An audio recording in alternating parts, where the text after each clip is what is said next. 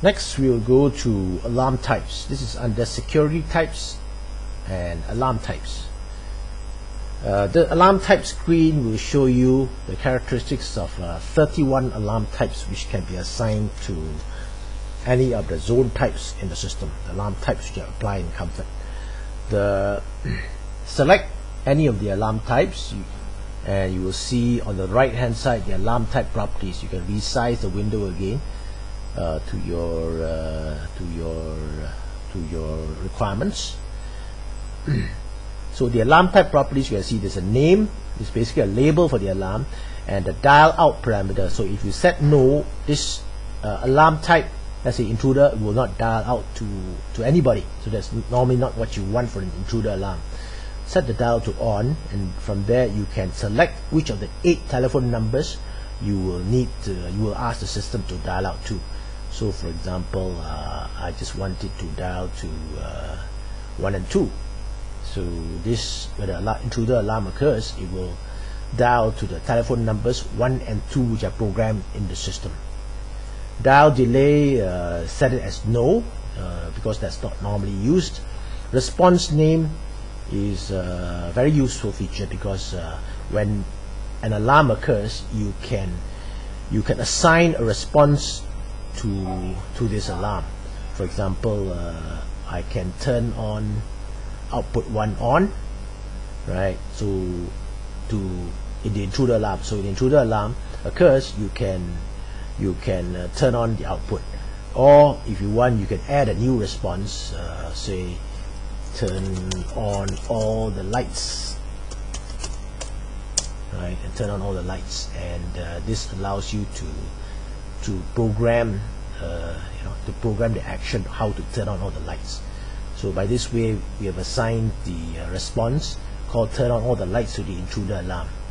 Strobe here uh, determines whether the strobe is turned on on uh, for this alarm. So the intruder alarm normally turns on the strobe until the system is disarmed.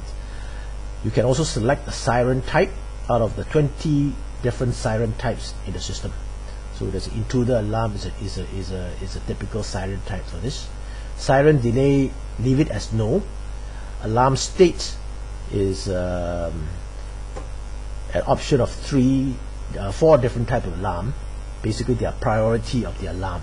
First of all, there's an idle alarm. Idle alarm is for uh, those non-alarm alarms, as you may call it, like uh, system is armed or system is disarmed they are considered alarms but uh, they are idle state which means they are not high priority but it's uh, something to be uh, informed to the CMS the central monitoring station or by SMS trouble alarm state is for system troubles that is uh, zone trouble open and short um, low battery uh, power failure or AC failure uh, communications failures. These are all considered alarms of a trouble in a troubled state. Alert state alarms are for entry alert where the front door is open or the entry door is open when the system is armed.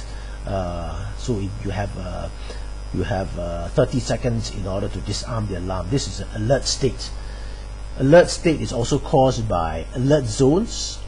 Uh, alert zones, uh, remember that you need to trigger two different alert zones in order to cause a verified intruder alarm.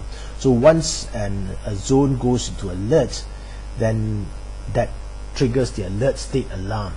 And finally, the alarm state is a full alarm, which is used for intruder alarm, panic, fire, and all these high priority alarms.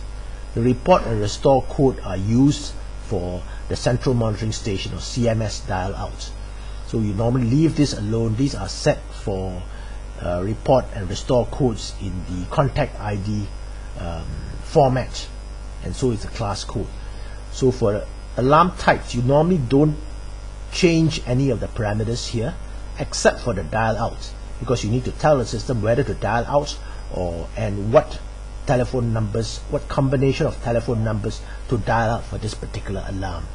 As an example of um, a idle state alarm. You see the disarm alarm here number 17 uh, it's by default it doesn't dial out and there are no dial in indices and there's a no response. Okay um, so if you want to dial out to inform the central monitoring station then you will set this uh, dial out on and the and the uh, dial indexes for the central monitoring station. And you can also uh, you can also um, uh, specify or create a response in order to let's say turn on the lights if it is night time right when you disarm the system. And similarly when you arm the system it's also an alarm type. So the alarm type can also dial out to your specified telephone numbers and you can create an alarm uh, response which is turn off all the lights and uh, air conditioning in the house or turn down the heating in the house when you arm it to away mode. Right so that's the uh, use of the alarm types in the system.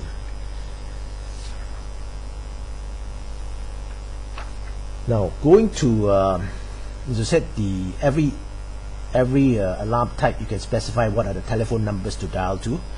To, to do this you go to security phone numbers.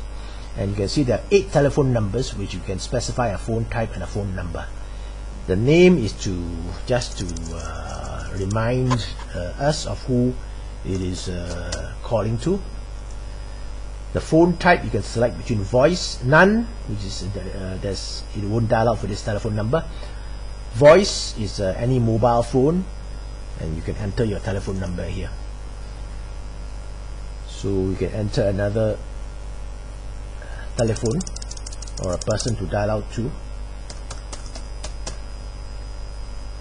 so you can also select uh, voice pager and CMS CMS is, stands for central monitoring station. Central monitoring station is a um, is a is a uh, station which uh, monitors your alarms and calls the police to uh, attend to the alarm. And CMS can only be set to, to types 1 and 2 pager is no longer used. It's no longer supported in the new comfort firmware so its uh, presence here is for supporting of old comfort uh, systems or old firmware. There's also another choice SMS which will appear if you have a UCM GSM if you have a UCM GSM uh, defined in your system you'll be able to select the SMS so you can send an SMS for this particular uh, phone type.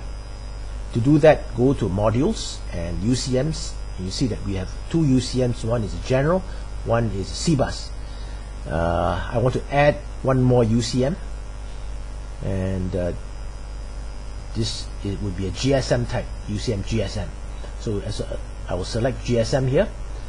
And uh, what this is that the it's got an alphanumeric ID it's part of the SMS or the text message which which appears on the message uh, to tell you where the system is coming where the alarm is coming from. So Cytech office let's say so you see Cytech office on the uh, on the text message. Go back to phone types phone numbers and you can see that uh, I can add a phone type called SMS which was not there before. So you can just type in your telephone number here and if your any alarm type specifies to dial to phone number 2 it will send a text message uh, with the information, the alphanumeric ID, which is Cytech office in, the, uh, in our case, and the alarm type and the zone number which is triggered. Right, so that is programming of the telephone numbers.